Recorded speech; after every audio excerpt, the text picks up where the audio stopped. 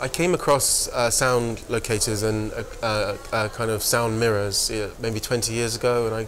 was really sort of really struck by them as a sort of these really intriguing, complex objects. But I guess I was I liked the sort of element of failure about them, the element of folly, and the, the, the fact that they were very rationally built, and they had this really rational intent, and then this language of the machine. Yet they, they had this very romantic, this surreal, or this quite metaphysical element to them, and they sort of had this. I guess when I came across it was after, much after lots of cultural events like the 60s, obviously, and things where, where they've been appropriated in these uh, really interesting ways by the Beatles in like Sgt. Pepper, and they feel almost like an inversal of a gun, in that they're not. There are these. They feel like these very um, trackable objects which are about pointing at specific things. So they move around an arc like a gun would on a turret, but they. Um, but yet instead of causing kind of irreparable damage, they seem to be the reverse of that, where they're receiving information. So they've got this sense of um, a receptor. Obviously, they're a receptor rather than a rather than a, a, transmitter. So they, there is that. So there's this, there's this inversal, which sort of feels very sort of like almost like a pacifist statement. There is this fascination with with uh, the equipment of the past, and but with all of these other objects, there's this there is this sort of somber, sinister element to it, where these things actually are these they're weapons of war and they're just weapons of destruction and the sort of misery and the violence and the, and the anguish and the terror that exists around these things is kind of palpable and should never be forgotten. I suppose with these ones there is this sort of wonderful escapist element to them that they feel like they're I mean, they almost could be looking for phantasmagoria or, or like uh, ghosts or, or the soul, or they got this wonderful thing that they're trying to see the invisible, and they're trying to detect something that, that, they, that cannot be seen. So there's this sort of romance to them that I think is really, really beautiful. And I used that in a, a series of works. I mean, I haven't returned to this subject for a while, but we made a,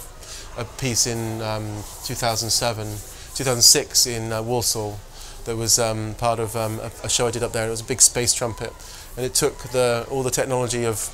of these early sound locators, but also with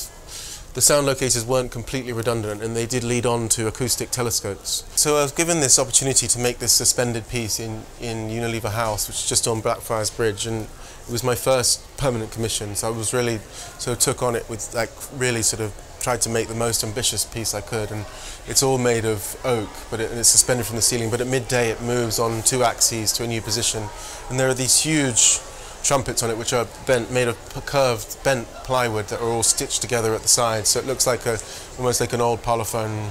record player, but they're, but they're sort of seven meters long and four meters wide each one, and the whole thing is nine meters by nine meters by nine meters. It's a vast thing, and it silently rotates to new positions. And there's a spiral staircase in the ceiling that you could, in theory, sort of walk down to this thing. So it's got this sense of being designed around the body, and it has this. I mean, it's quite whimsical in that it's made all made of wood, and it's quite romantic. And it's a material I've moved away from because I wanted actually things to feel more real and less sort of theatrical. But it was, but nonetheless, it still has this sense that someone could enter into it and operate it. I quite enjoy showing artworks that look like machines outside of an art world context, and so, and I think there's a really different engagement when people uh, see an object which is, has a, a, clear function, but that function is yet to be deciphered. There is a real sort of energy and a sort of um, a sort of archaeological intent to try and work out the function from that form. Whereas I guess when you see an artwork, um, there's often a sort of almost a laziness in that you don't need to understand it because it's just an artwork. I guess in terms of the way that this piece is seen, I mean, it is. I, for me, it's sort of almost really exciting the idea that you would you put this somewhere in a in a junk shop in Brighton or something and put it in the corner and no one knows what it is and that and the level of intrigue around deciphering what it is is probably much higher than than in a museum where you walk past it and you kind of I, mean, I don't know almost it doesn't it doesn't have the same level of kind of kind of excitement in some ways when you have that passionate sort of archaeological decipherment of an object. I make machines very um, rationally and try and make them as as uh, as sort of elegantly and as, as well designed as possible so they're not whimsical or kind of Heath Robinson but then they have this so they, they kind of force a kind of that, that kind of process of anal analysis but then they make things even well they might make things too much much slowly than a person can do or and so they, they end up being very problematic because they're sort of they have all this complexity and cost and expense in making them, but yet they sort of defy kind of any logical explanation. I mean, in terms of the changing meaning of an object, that's another thing that's so interesting in that every decade